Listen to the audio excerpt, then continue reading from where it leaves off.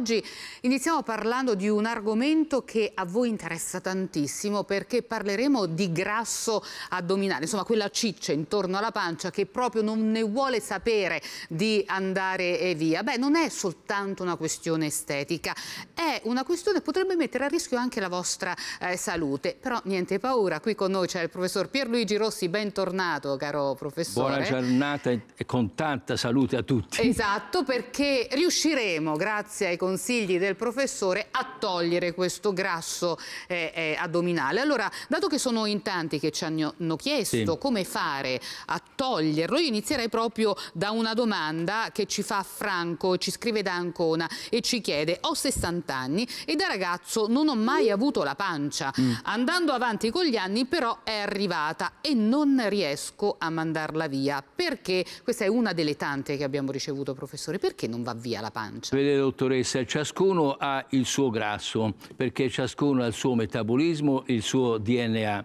Al nostro amico di Ancona dobbiamo ricordare che eh, man mano che si va avanti con la vita i centimetri nell'addome aumentano.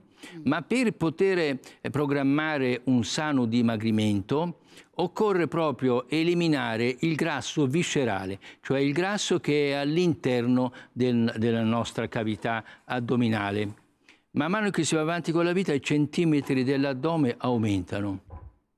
Esatto. E questo eh, Ma non è, un... è soltanto una questione estetica, vero? Assolutamente no. Questione. E dobbiamo far capire il ruolo fondamentale e pericoloso, perché il grasso dell'addome è il grasso più pericoloso. Voi donne accumulate grasso in zona gluteo-femorale, ma è un grasso sottocutaneo superficiale che è protettivo addirittura, perché la natura ha sempre protetto la donna, perché deve andare verso la gravidanza e verso l'allattamento. Voi accumulate grasso solo dopo la menopausa. Noi uomini accumuliamo grasso sempre eh, in tutta la nostra esistenza nell'addome. Però come vediamo in questa slide, mm-hmm. guardiamo a livello dell'addome, sotto la cute c'è subito il grasso sottocutaneo, poi c'è la parte muscolare e poi c'è quella parte rossa che è il grasso viscerale, a diretto contatto con le anse intestinali. Questo è più pericoloso perché è più infiammatorio. A cosa ci può portare eh, questo grasso addominale? Insomma, io ho detto appunto non è soltanto una questione estetica. No. E, e cosa ci può portare questo grasso in più? Il grasso addominale e viscerale ci porta ad un aumento di uno stato infiammatorio cronico che può essere misurato anche attraverso la ricerca nel sangue della proteina C reattiva. Quando la proteina C reattiva è molto alta significa che noi abbiamo eh, uno stato infiammatorio. Il processo di invecchiamento eh, deriva proprio dal processo infiammatorio cronico, cioè questo grasso ci fa invecchiare. Il grasso addominale viscerale è il driver della salute e della longevità. Più grasso abbiamo e più ci si ammala. Poi si può andare incontro all'insulinoresistenza, che può essere individuato nel rapporto tra la glicemia, l'insulina e l'indice OMA, che se non corretta l'insulinoresistenza porta al diabete mellitro di tipo 2. Una persona su dieci in Italia affetta da diabete mellitro di tipo 2. È una vera e propria epidemia metabolica. Si pensa e si guarda alla pandemia, alla pandemia virale, ma qui noi siamo in presenza di una pandemia metabolica, l'obesità e il diabete, e poi c'è il fegato grasso, la steatosi, la pressione alta e poi c'è il decadimento cognitivo cerebrale, perché il grasso viscerale produce delle citochine che attraverso il sangue arrivano al cervello e creano uno stato di neuroinfiammazione cerebrale. Bisogna uscire dal gossip dietetico, esatto. estetico esatto. e entrare nella scienza. Esatto, perché oltre all'estetica c'è anche infatti un fattore di salute che non è, è, è, indispensabile. Dobbiamo pensare alla salute, a stare bene. E lei prima ha detto che noi donne dopo la menopausa sì. ovviamente eh, abbiamo questo disturbo. Infatti ci scrive Anna Maria, ci scrive da Cosenza e ci dice da quando sono in menopausa è arrivata anche la pancia. Che cosa devo fare? Che cosa deve fare la nostra Anna Maria? La, le, le donne che vanno in menopausa non hanno estrogeni. Gli estrogeni aiutano uh, a collocare perché la distribuzione della massa grassa nel corpo umano è differente nell'uomo e nella donna ed è sotto è il governo degli ormoni. Il testosterone fa accumulare grasso nell'addome, mentre gli estrogeni fa accumulare grasso nel gluteo femorale. Nel momento in cui gli estrogeni non ci sono più, il grasso cambia la sua distribuzione topografica e va a livello per addominale. le persone di una certa età, le donne di una certa età devono stare molto attente. Sì, e infatti è, la, è allarme rosso, perché io ho 47 anni di attività professionale, mi sto accorgendo che le malattie cardiocircolatorie, vascolari, anche gravi nella donna in menopausa, sono in costante aumento. Perché perché la donna accumula grasso. Quando la pancia non è più piatta e comincia a espandersi, vuol dire che cambia tutto l'assetto, il profilo ormonale e anche metabolico. Quindi la, la, la donna che accumula grasso non è un fatto estetico, ma è, deve essere decisa a nella riduzione. Ragione. Quindi i centimetri sono importanti. In, importanti e a, a, maggior ragione è importante la diagnosi. Sì. Perché come faccio a capire, professore, eh, che, che insomma sto accumulando grasso proprio sul sulla pancia, mi basta la, eh, non è soltanto, cioè, non è basta pesarmi sulla bilancia, eh, lì io vedo un, eh, come un metro da sarta, sì. questo ci può essere utile professore? Il metro dottoressa è molto più utile della bilancia.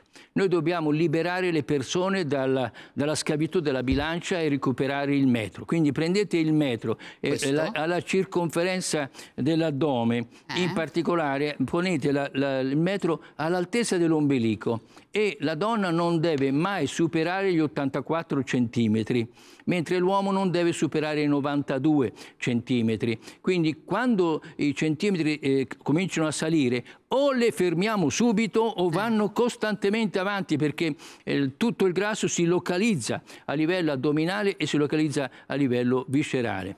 C'è anche una formuletta per capire esattamente se noi siamo in forma oppure se stiamo accumulando tanto eh, grasso sulla pancia, vero professore? Sì. Semplicissima da fare e ci sono anche dei valori di riferimento a cui dobbiamo fare attenzione. Quali sono, professore? Prendete il metro e eh, misurate la vostra eh, circonferenza addominale ponendo il metro all'altezza dell'ombelico. E questa è la circonferenza addominale. Poi prendete la vostra altezza e dividete la circonferenza addominale, la circonferenza vita, diviso l'altezza la, in centimetri e deve venire un numero. Allora, come vedete in questa slide, la donna non deve superare 0,49 il rapporto tra la circonferenza della vita e l'altezza non deve andare oltre, 0,49 e l'uomo oltre eh, 0,53. Eh, Ora le devo dire, dottoressa, che con l'andare della vita noi abbiamo un aumento della circonferenza addominale per aumento del grasso sottocutaneo addominale e viscerale. Però man mano che si va avanti con la vita si, ridu si riduce l'altezza e la velocità con cui si riduce l'altezza è un indicatore di salute metabolica. Quindi aumentiamo la volumetria e riduciamo l'altezza o blocchiamo questo processo oppure diventiamo un palloncino e altrimenti andremo incontro a una, a una degenerazione eh, funzionale e cognitiva anche a livello cerebrale. Esatto. Eh, un altro valore a cui dobbiamo fare attenzione, professore, sono i trigliceridi. Sì. Allora, per misurarli, professore, non c'è solamente eh, la classica analisi del sangue. Come lo possiamo misurare e in che modo anche? Vedi, ogni volta che noi mangiamo il nostro sangue cambia la sua composizione in rapporto agli alimenti che abbiamo mangiato. I parametri che cambiano cambiano soprattutto dopo mangiato sono la glicemia, che è la concentrazione del glucosio, l'insulina, ma soprattutto cambia la lipemia.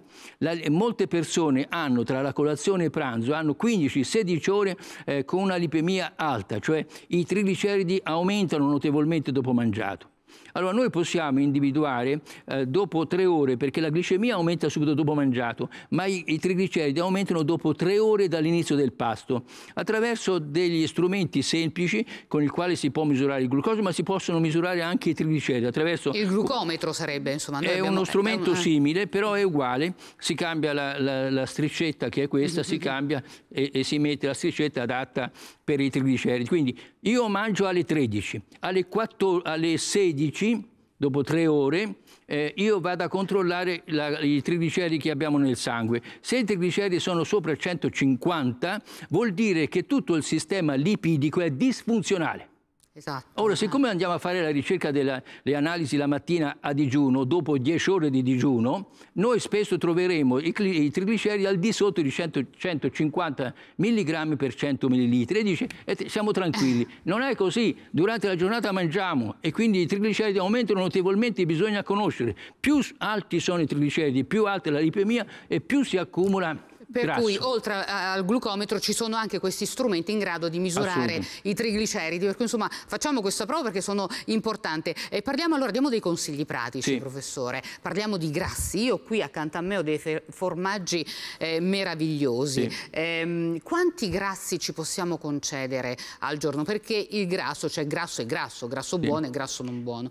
A, a, maggior ragione, ecco, qua ho i formaggi e quanto formaggio posso mangiare? Noi professore? facciamo una grande esperienza esperienza con dieta social in Italia e abbiamo eh, ehm, valutato che do, è bene non mangiare più di 30 grammi di lipidi a pasto e quindi scegliere gli alimenti, eh, scegliendo gli alimenti, i formaggi a pasta dura eh, hanno un alto contenuto di trigliceridi, mentre i formaggi a pasta molle hanno una minore quantità eh, di acidi grassi. Infatti stiamo leggendo che allora, eh, di eh, formaggi eh, come dire, abbastanza stagionati come il parmigiano e il grana non più di 50 grammi, sì. oppure la mozzarella, lo stracchino non più di 100 grammi a porzione, sì. questi sono Per non dosi. introdurre 30 grammi di grasso, cioè noi dobbiamo tenere bassa la lipemia postprandiale, basta i trigliceridi postprandiali per poter ridurre il grasso e per dimagrire bisogna eliminare il grasso viscerale, quello che sta dentro la cavità eh, E addominale. allora cosa dobbiamo mangiare, professore? Allora, mangiare prevalentemente in natura vegetale perché